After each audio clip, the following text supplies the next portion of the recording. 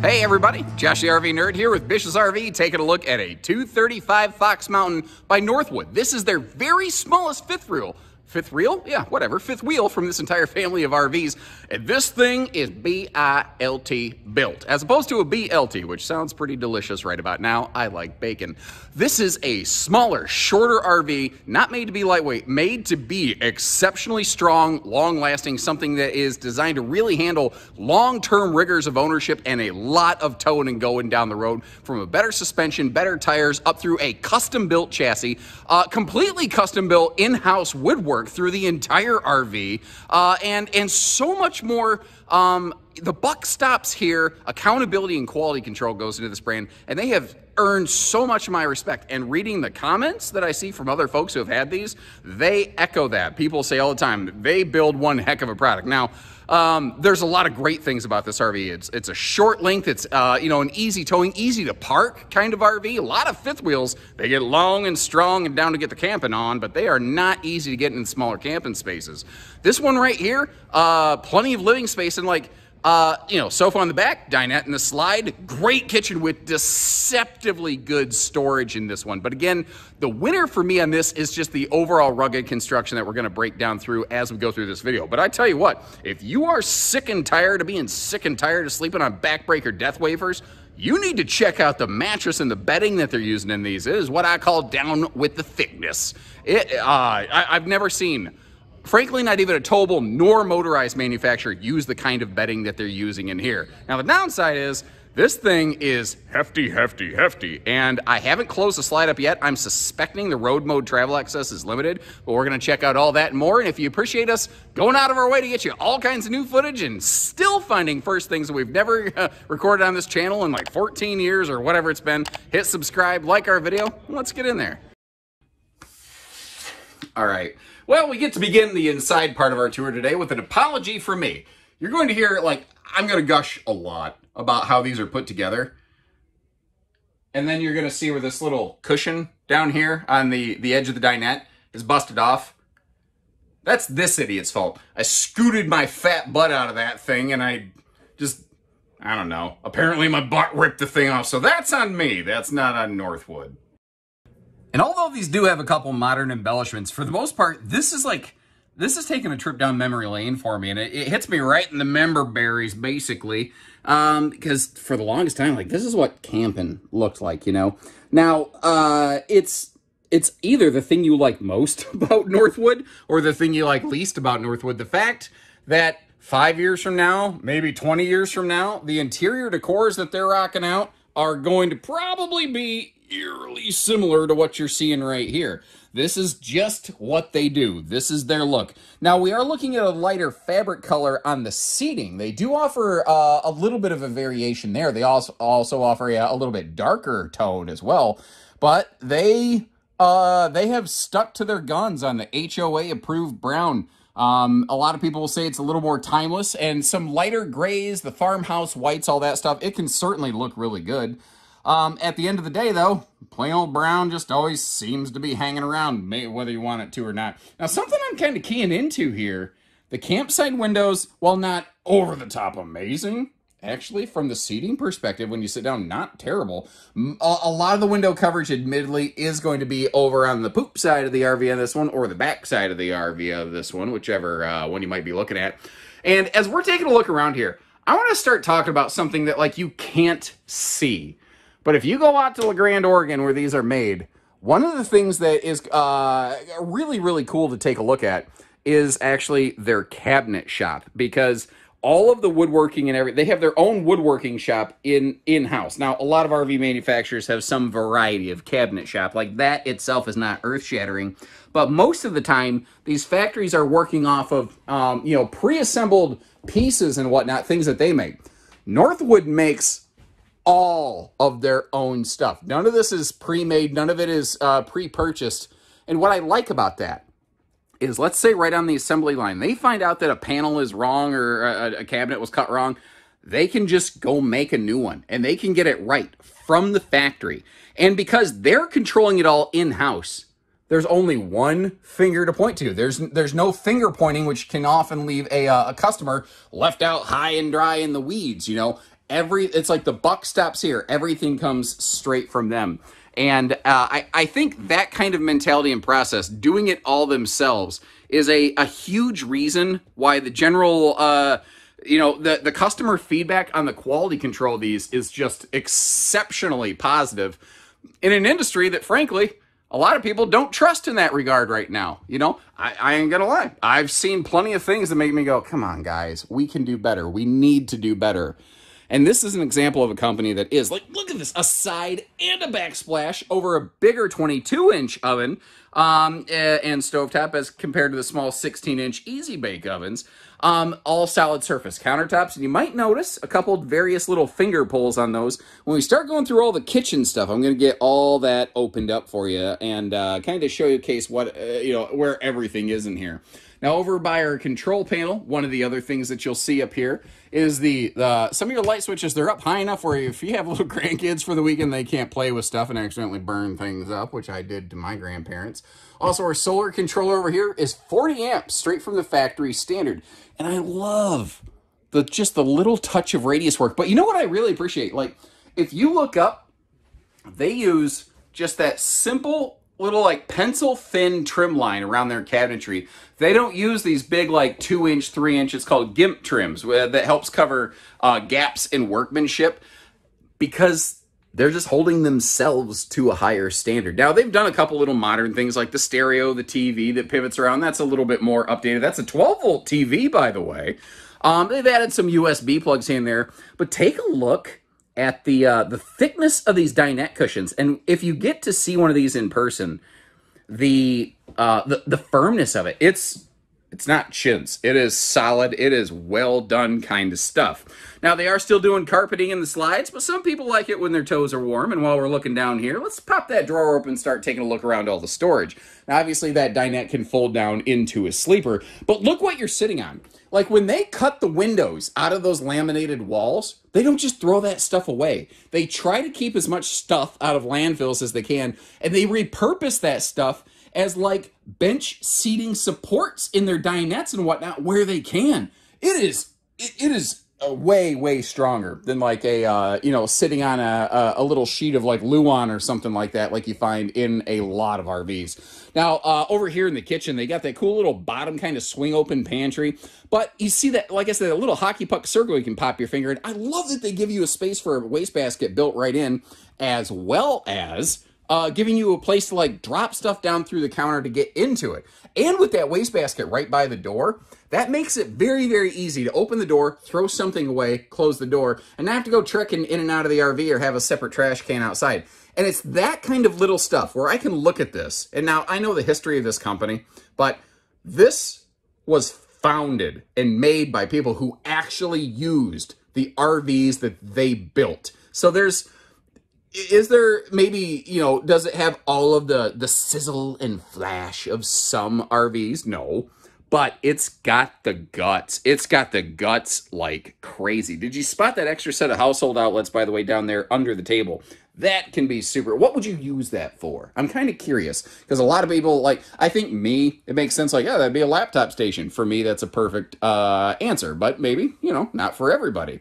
Um, this is an 8 cubic foot gas electric refrigerator freezer. And that is all they offer. Northwood uh, is not currently offering anything in the way of 12 volt. Uh, built out here in the Pacific Northwest, this is uh, one of the areas where, you know, boondocking, camping away from parks is exceptionally common and popular. And they cater to that first. Oh, wow. Just the dumbest little things that they thought of. You can tell somebody actually went out and used this and tried it out and said, hey, the bathroom door for the toilet swung open, and I didn't like that. So they put a little doorstop up on the ceiling. Like I've walked past that thing six times and didn't even notice it. By the way, you see up here, um, you see that little piece of trim, how it's kind of radiused like that? Uh, that's because you might have noticed uh, back here in the living area, this does have that nice open feeling vaulted ceiling. Now, I think from the floor to the highest point in here, it's like eight foot and a couple inches, but it opens everything right up and feels nice. Not to mention, I've always felt double vaulted trusses just feel a little stronger. This might be a problem for some folks, however. It's just an accordion door closing off the upper deck to lower deck. This is where some of those classic features, um, you know, while nostalgic may come back to, to, to bite them in some areas, but I'm going to leave that up to you. Once again, since this is made out for Boondock Central, one of the things that they uh, include up here, standard is one of those big XL vent fans. And you're going to see in just a minute here, it comes with a cool little remote control.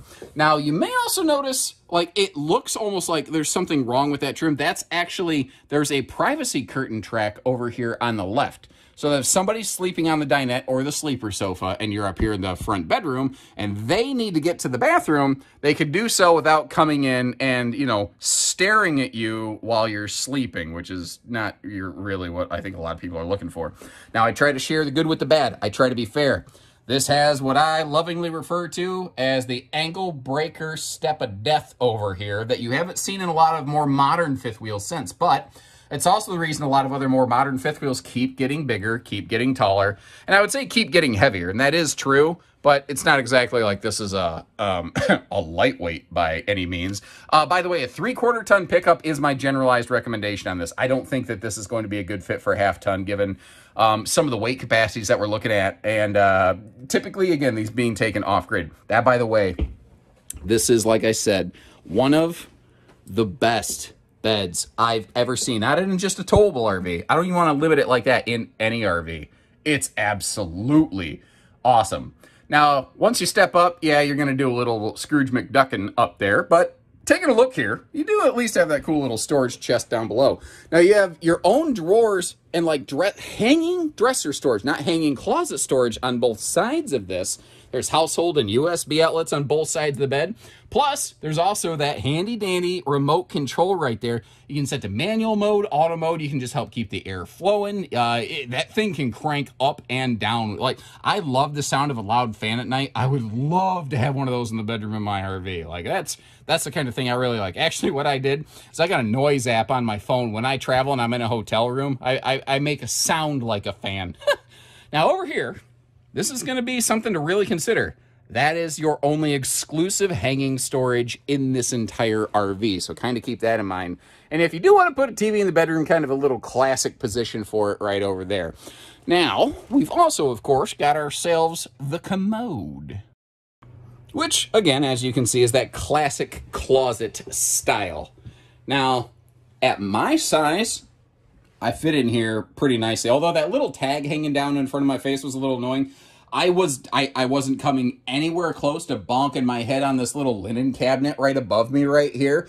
None of that was a concern whatsoever. You have another one of those big vent fans here, by the way. So we are Fajita Friday Fume Fighting certified. We have ourselves the uh, Take Me to Your Leader uh, alien kind of uh, towel holdbacks right there. And then as I back up, this could be another area where somebody's going to look at this and say, man, you had me uh, until that shower, and that is an all stop. That is just a classic corner uh, kind of angular shower. That being said, they are not all the same. If you like everything else about this RV except that shower, what I recommend is get to see one of these in person, and you may find that's not as bad as you think. Because remember when I called it a classic corner angular shower? Classic showers were often bigger than today's angular showers. They got a little bit smaller in a lot of modern RVs. And I want to show you how it's got, got like the little garden tub with a seat. But you see how wide that is? If you actually need to sit up or down, if you need elbow room to get soaked up, that shower is way better than what you would think. So that's where I'm saying don't judge that book by its cover. Try it on for size like a pair of pants uh, before you say yay or nay. And closing up the slide here for road mode. This is kind of what I was afraid of because they use a big, full, deep slide on this thing. Full depth slide is probably the more proper way to say that. What that means is that you're dining in that peninsula countertop. They start getting into a shoving match where they say who gets to keep the space or not. Now, there might be a couple ways around this. If you put that table down for transit, with this being that Easy Up Dream Dinette down, uh, you don't necessarily have to do that. But if you put it down for transit, you can kind of step around it a little bit more easily. You can always sit your backside on it and pivot, sit and pivot uh, kind of method. Or here's the thing. This kind of slide system, it doesn't care if you only open it partially. But listen to this. You hear how that seal, how tight that seal is, but how quiet the slide is? They're just using better motors, better seals, things that are just going to hold up a little bit. Now, if you just want to touch that and you want to crack that so you can get in here and uh, maybe sneak up to the bathroom or pack up your bedroom with your clothes for camping before you go, you can do that. But you don't want to leave that slide partially open uh, and try to use it. You don't want to sit in it. You don't want to do that like if it's raining or anything because the seals, as tight as they are, aren't really fully engaged the way that they could and or should be. So there's a little pro tip for you from Uncle Josh. Now these are a standard eight foot body. I'm operating from a little bit of uh, memory out here, but I do believe its big brother Arctic Fox is wide body. Um, the, uh, the thing though is they basically share the same construction. You've got those uh, true two inch thick sidewalls, and they are what I call double Azdel. They're Azdel on the inside and outside layers.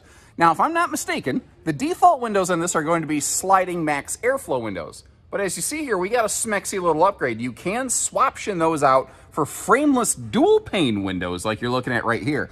Um, they a lot of these manufacturers like to call it a thermal window. I I'm very outspoken about the fact that it does not really significantly increase any sort of thermal values.